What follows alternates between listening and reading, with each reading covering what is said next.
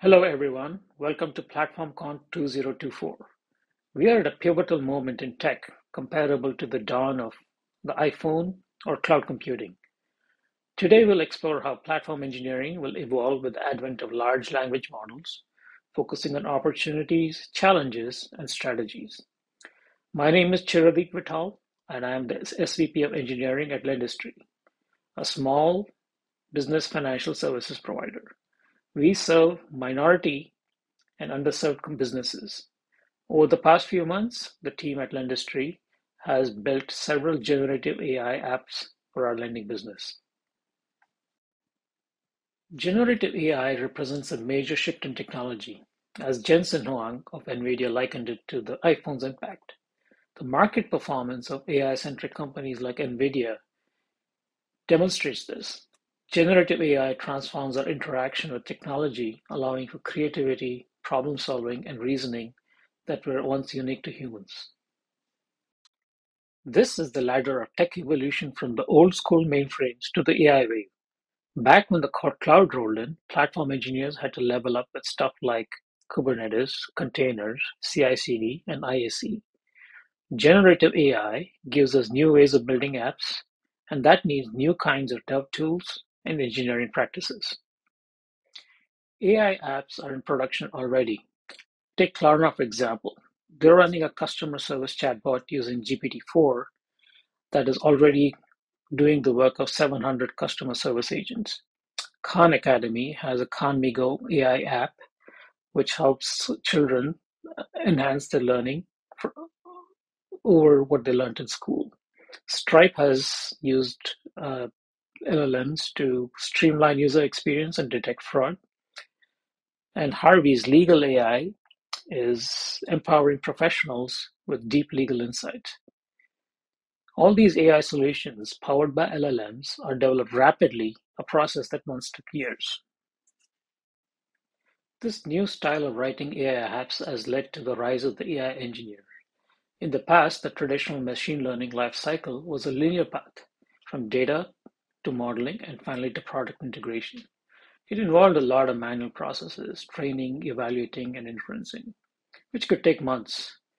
Plus, the, the ML engineer had to keep up with the latest research and constantly read papers. Contrast that with the AI engineer. The process become very cyclical, the emphasis on iterating quickly. We're seeing products built and deployed in days, not months, thanks to the advent of LLM APIs and wrappers that makes integration seamless. The focus has also shifted from the heavy lifting of model training to evaluating models and crafting prompts that get the best out of these AI tools.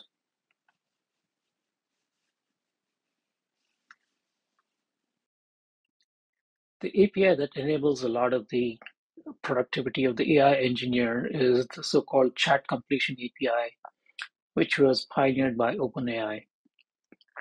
On the left, we have the API request. It's a simple REST API that tells the LLM what we're asking for. We authenticate with an API key ensuring secure access. And in the data payload, we specify the model. This model version will dictate the capabilities and the speed of response. We also specify a user role as well as the system role. In this case, we're asking this LLM to pretend that it's a financial services industry expert. In the prompt, this is what we're asking the AI to consider, and the inference parameters like temperature and frequency penalty control the creativity and the length of the response. And on the right, we see the response from the LLM with a message that's the AI's answer to the prompt. Also crucial is the usage information, including the cost in terms of tokens, because this is what it costs the, uh, the application to make this API call. Let's see what are the challenges with even this simple API. One of the first problems an AI engineer encounters when using the LLM API is the context limit. LLMs have limits on prompt length which can affect the context that they can consider. stochasticity is a fancy way of just saying there's a certain level of unpredictability in the AI response. So each time you send the same prompt, you could potentially get a different response. And here, crafting the right prompt is an art. It requires understanding the nuances of the AI. Hallucinations are when the model generates plausible answers, but they're actually fake or nonsense. So we just need to ground the AI in, in reality with some rigorous evaluation. Safety and security are two sides of the same coin. On the safety side, we're looking at alignment with human values, avoiding abuse, bias, and ensuring fairness. And for security, we need to guard against data breaches and privacy issues using standards like the OWASP Top 10 for LLM to guide us.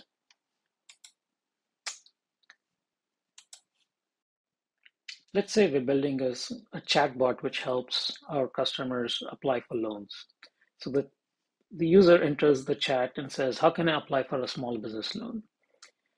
Now this, the LLM app, the chatbot, uh, first will construct a prompt uh, tailored to meet the, to get the most informative response from the AI. And this is where prompt engineering is crucial. Then the API calls upon additional context relevant to the query. It might pull from a vector store or a knowledge graph, uh, enhancing the AI's uh, understanding with additional information. Then the AI or LLM performs inference, and based on the prompt and context, it generates a response.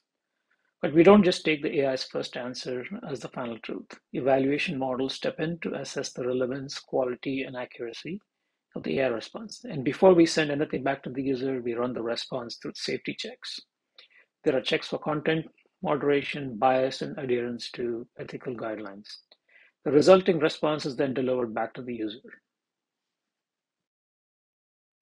Apart from the problems I already highlighted, there are key architectural choices that the AI engineer has to make, which influences the the labor and the toil that the platform engineer has to go through. For instance, if there's function calling, which enhances the AI's ability to invoke uh, actions in the real world, uh, that include that increases the complexity and risk of the project. Uh, the, the type of the project, whether it's an AI agent or a chatbot, whether using one model or multiple, how you introduce new information to the LLM, whether RAG or fine tuning, and whether it's internal or external facing. If it's external facing, then the blast radius of an inappropriate response from the LLM is going to be quite big. As we roll out the AI applications into production, several key concerns must be at the forefront. The first is model explosion. The AI engineer has the possibility of hundreds of different models they can use to for the task. And uh, not all of them are useful or safe or appropriate. And so they need to be guided reliably there. Then there's reliability and cost management. It's critical to ensure that the AI systems are reliable and produce consistent results. And, and we must also manage their costs. We have to continuously evaluate how well the prompts are performing and how the models are responding to ensure they meet our standards. The AI must not only function well, but also safely, uh, avoiding the propagation of false information, hallucinations, or biases. And finally, we need robust governance to ensure that the AI aligns with the enterprise's goals and ethical standards. And then security, especially data privacy and protection, is also crucial. The platform engineer uh, can use their uh, familiar tools like containers, CI/CD, um, and observability. There's some slight changes. For example, the Kubernetes might need to be GPU aware. Uh, CI/CD might need to uh, invoke evaluation models. If observability, you need to start like monitoring token counts and also the quality of the responses. When we put together the solution for an AI-powered application, uh, there are several building blocks. The first, we have the model catalog. This is our vetted list of AI models, like a library from which the developers can choose the best tool for the job. The API proxy um, intercepts every call to the LLM, and it's like a gatekeeper. So we can implement policy-based controls here. We can do uh, switch the model uh, in the middle of the uh, process, and uh, we can even do logging and uh, cost monitoring here. Evaluation and guardrails is where we embed the safety features and ensure the integrity of the AI uh, app. For optimization, we are tweaking the finer points of our prompts, uh, their execution. Uh, we can do caching and batching and uh, and other modes of cost management.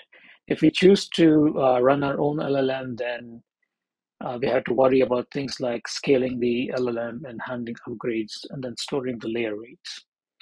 RAG support is where um, this is how we add context or add new information to the LLM.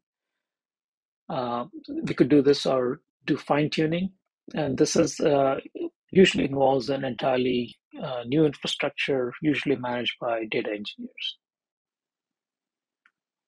When you put together this AI application and put it to production, uh, the platform engineer has to collaborate with a number of other roles. For example, the AI engineer, the data engineer, and the SecOps. The data engineer might be uh, dealing with uh, safety and guardrails, the RAG backend. The AI engineer, of course, is tuning the prompts and building the eval suite. And then SecOps is building, you know, uh, assessing the risk of the LLM, ensuring supply chain security, and building the safety runbook.